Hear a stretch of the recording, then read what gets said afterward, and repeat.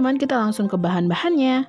Ada gula pasir, telur, tepung terigu, pengembangnya aku pakai SP dan baking soda atau baking powder. Lalu, di sini ada denkau, susu kental manis, dan vanili. Sedikit minyak, sedikit air juga, serta Oreo yang sudah kalian patah-patahin. Yuk kita langsung ke cara pembuatannya. Pertama, kalian hanya cukup memecahkan satu butir telur ke dalam wadah yang sudah kita siapkan beserta 3 sampai 4 sendok gula pasir ya, teman-teman.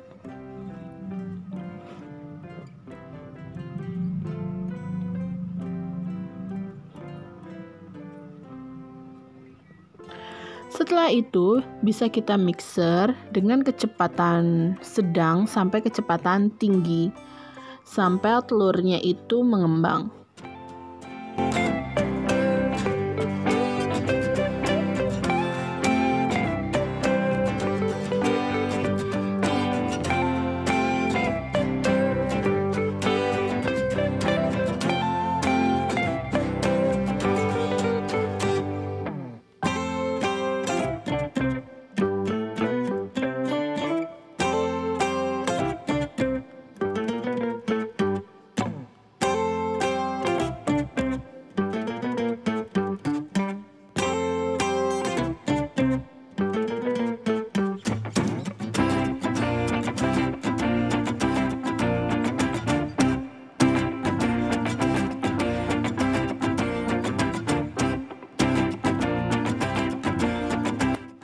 Adonannya berubah warna seperti ini, teman-teman, kita matikan dulu mixernya. Lalu, kita langsung uh, kasih pengembang kuenya, yaitu baking powdernya. Sejumput aja ya teman-teman, sekitar setengah sendok teh. Dan SP-nya juga sekitar setengah sendok teh. Setelah itu langsung kita mixer lagi.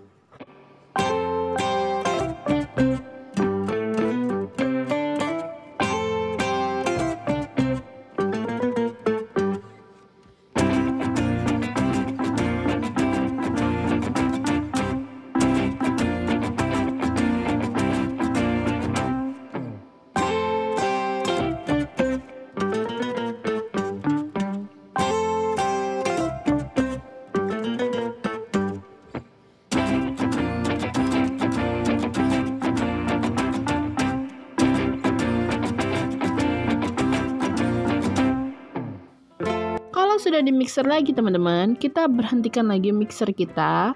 Lalu kita campurkan susu kental manis satu saset yang warnanya putih.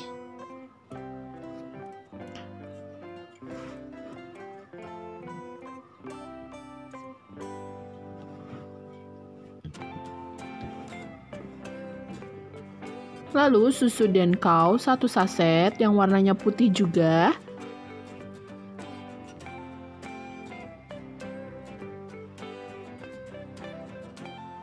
Setelah itu tepung terigu, tepung terigunya boleh 4 sampai 5 sendok makan ya, teman-teman.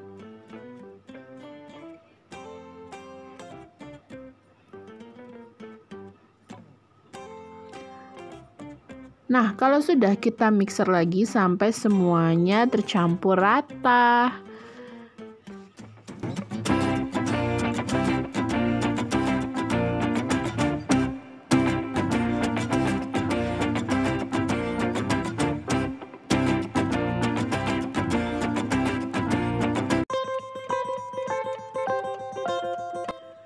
Supaya adonannya tidak terlalu kental, kita boleh tambahkan sedikit air, sekitar 2 sendok makan.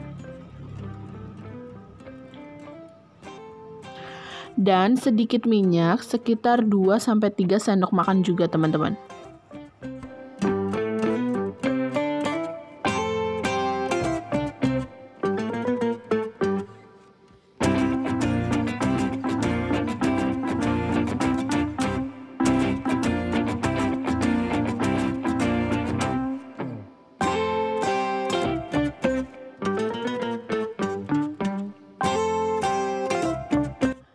Nah, supaya rasanya balance teman-teman antara manis, kita kasih garam sedikit. Lalu jangan lupa kasih vanili supaya wangi teman-teman. Setelah itu, setelah semuanya kalian campurkan, kita masukkan Oreo yang sudah dihancurkan, tapi tidak terlalu hancur ya teman-teman. Dan kita aduk sampai adonannya itu rata. Thank you.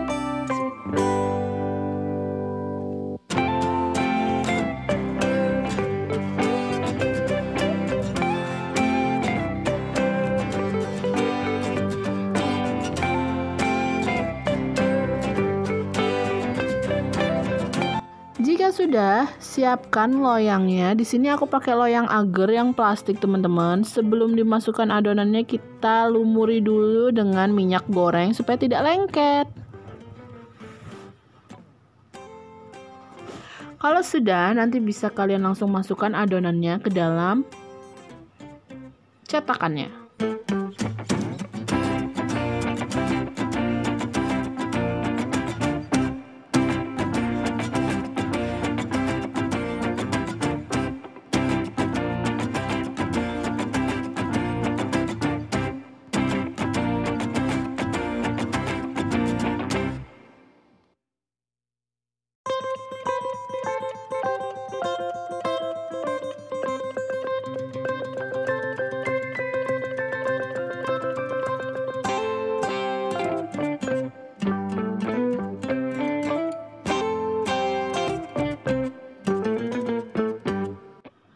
Jangan lupa teman-teman dibereskan dan dihentak-hentakan supaya dia itu tidak miring sebelah saat dikukus.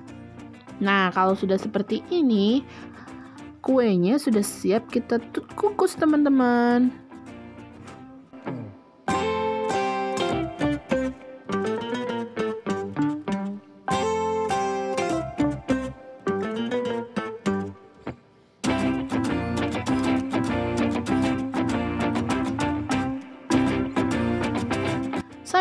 Kuenya matang, kita buat lavanya yuk.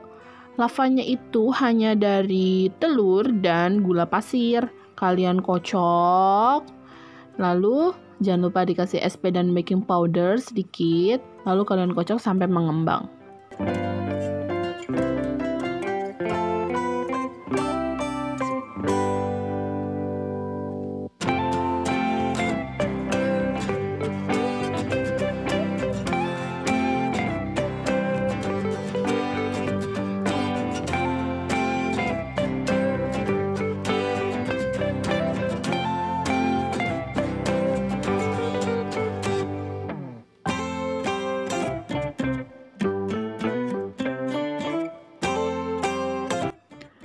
Kita intip kayaknya udah mulai mateng nih bolu kita. Uh, sudah mengembang teman-teman. Sekarang siap untuk kita angkat.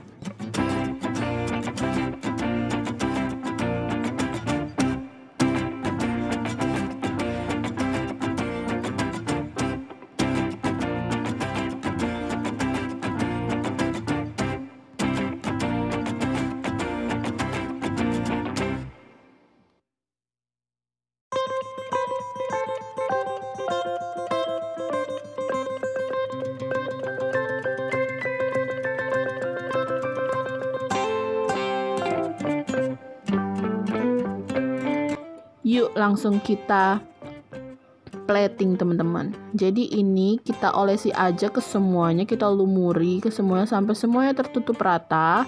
Lalu kita uh, tuangkan bubuk Milo supaya cantik.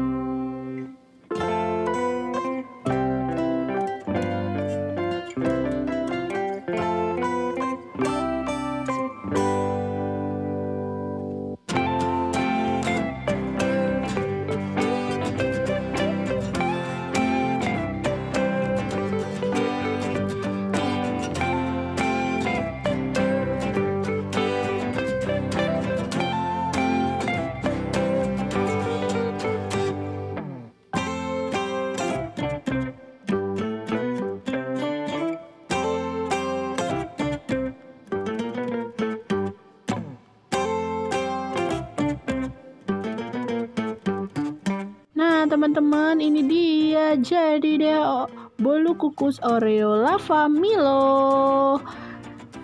Bisa dicoba di rumah ya teman-teman, karena ini gampang banget. Hanya pakai satu telur dan satu telur lagi untuk kuahnya. Nah, langsung kita cicipin aja ya teman-teman. Oh ya, terima kasih sudah menonton ya teman-teman. Jangan lupa di subscribe, di like, and di komen yang positif.